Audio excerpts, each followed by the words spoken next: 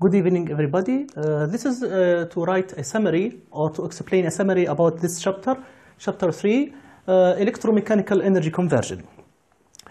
Uh, the method used to analyze uh, the electromechanical energy conversion devices in this chapter is based on the uh, principle of conservation of energy, which states that the energy cannot be created, cannot be created, is neither created from nothing nor can be destroyed. Uh, so this concept has been used to analyze so many different uh, energy conversion processes, uh, like for instance uh, turbines, uh, generators, uh, DC motors, AC motors, and so on. So we have the following important equation for this chapter.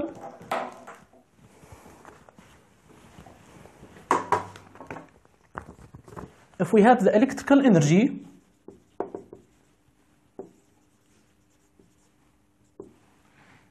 It can be translated to be mechanical energy by motor or actuators plus field energy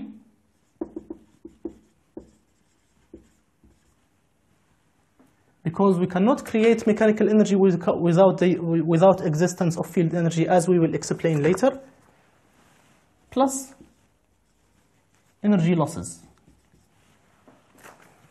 So the electrical energy that has been invested in this mechanical device will produce mechanical energy and some of it will be uh, stored as field energy and the other form of energy will be uh, dissipated as energy losses, heat energy, core losses, and copper losses. For example, if we have a conductor placed in a magnetic field, this conductor will not experience a mechanical force until a current will flow in it. So the current will flow in the conductor itself will not be enough to create mechanical power, but it should be placed in a magnetic field.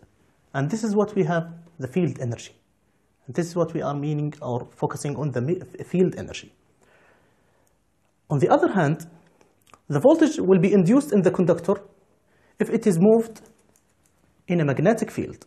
The voltage will be induced in the conductor if it is moved by linear motion in a magnetic field. So the magnetic field will exist in both, in, uh, in, in uh, conversion from electrical energy to mechanical energy and vice versa. As a functional flux diagram then, here we will have electrical system and then we have coupling field coupling field. And then we will have mechanical mechanical system that is physically translated to be torque and speed and this is phys- physically can be translated to be voltage and current but the coupling field exists in either direction in both direction in transferring from electrical energy to mechanical energy and vice versa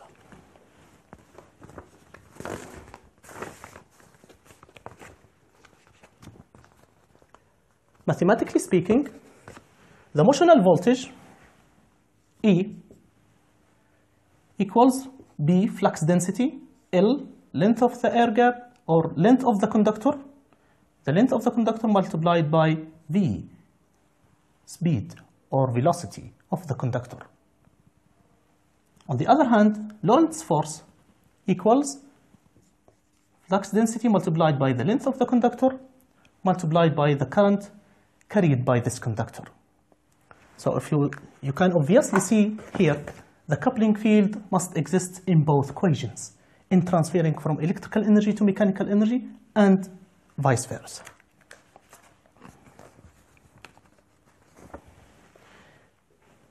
Here we will analyze the field energy.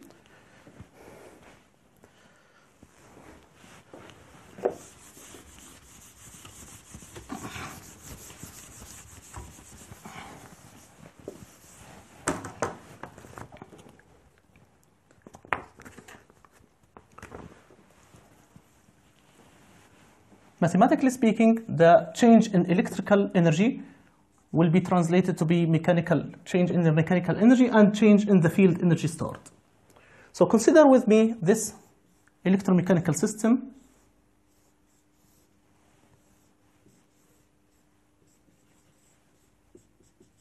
this movable part and this is immovable part or fixed part. This is the fixed part and this is the movable part. Suppose we held this constant and we increase the current gradually from this electrical uh, source.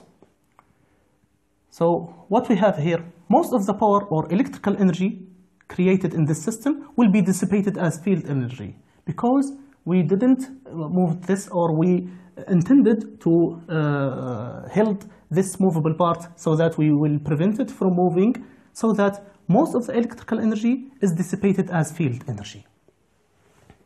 The voltage induced equals n d phi by dt or d lambda by dt. Lambda which is the flux linkage.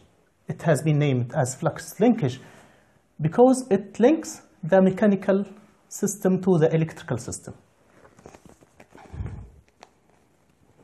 On the other hand, the electrical energy equals I dot E, E dot I, dt. If we substitute this equation here, we will have the electrical energy will be dissipated as field energy because the system has been prevented from moving, and then the field energy will be will equal I dot d lambda over dt dot dt and equals I dot d lambda. Then WF, which is the total field energy, will be the integration of this equation from 0 to lambda.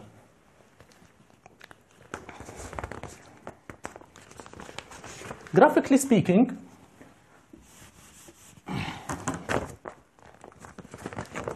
it is the area under the curve I and lambda.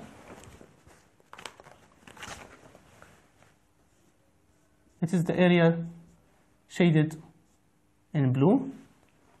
This is the field energy of the system.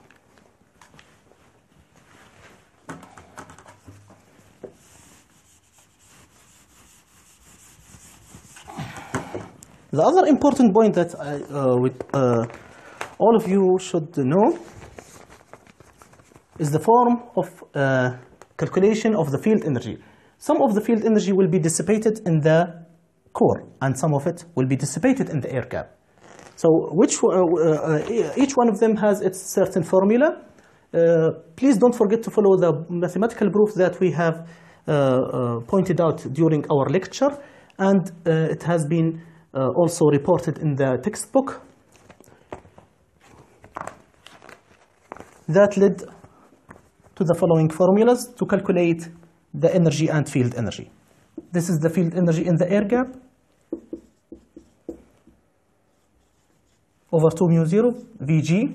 This is the volume of the air gap, this is the flux density, and this is the permeability of the system. And the field energy dissipated in the core equals integration of Hc dB dot volume of the core, dot volume of the core.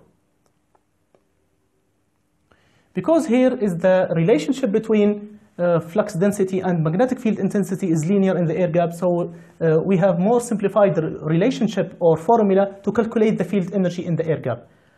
But here in cast steel, for example, or for any other ferromagnetic material, the relationship between magnetic field intensity and flux density is nonlinear. That led to this uh, complex formula or integral equation. Also, we studied the energy and co-energy.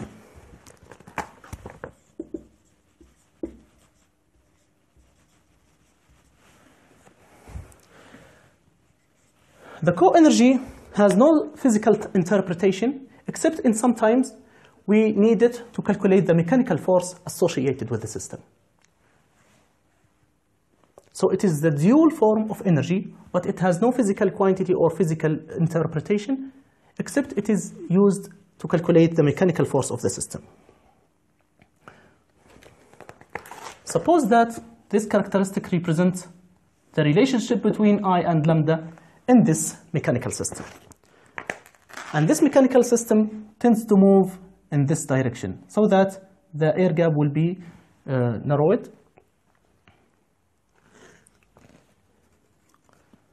Then this will can be represented that this curve will tend to be more or highly nonlinear in this direction.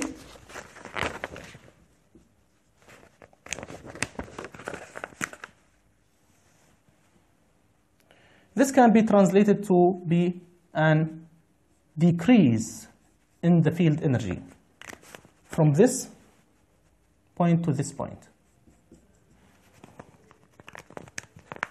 The decrease in the field energy can be translated as increase, as an increase in the co-energy. So this is the co-energy,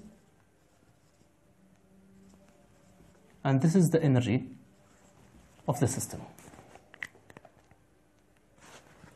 If you follow the mathematical proof that we uh, deduced in the lecture and uh, also exists in the also reported in the book, you, you will find that the mechanical force of the system can be calculated by the field energy or co-energy WF dash with respect to x, x and i at i constant. While the same mechanical force can be calculated by the field energy as function of the distance or the displacement and the current I at lambda equals constant. This is based on the fact that the field energy equals integration from 0 to lambda i dot d lambda for i as a function of lambda and this is the relationship or the integral equation for the field energy lambda dot di. In either way, you can calculate the mechanical force associated with the system. Either you have the current as a function of the flux linkage or you have the flux linkage as a function of the current. Here we have the energy and field energy, uh, the field energy and the field co-energy. Uh, you can calculate the mechanical force by the partial derivative of the field energy or the field co-energy with respect to the displacement. The field energy, you can uh, find it if you have the current as a function of flux linkage, or on the other hand, you can find the co-energy if you have lambda as a function of I or the flux linkage as a, as a function of the current according to your definition to this mathematical function. Finally, we will have the following tips uh, for studying this chapter. As this chapter is more complex to our students, uh, I have the following advices for you to study this chapter and the whole uh, course of the machine.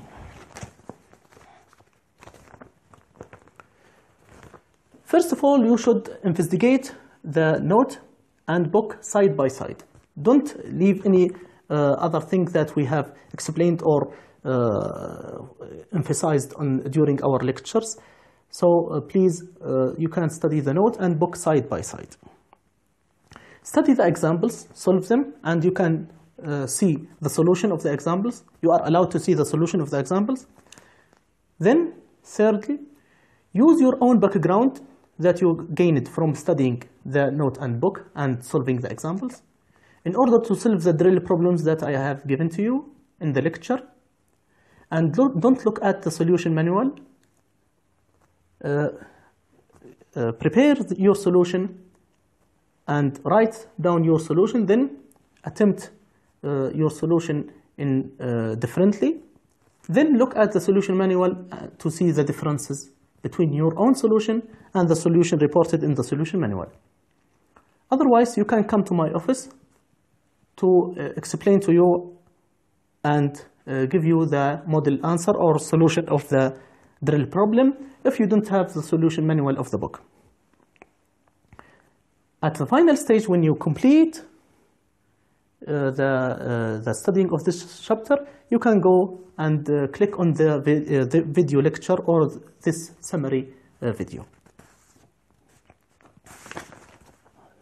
I would like to thank you for your attention and I wish you every success, inshallah.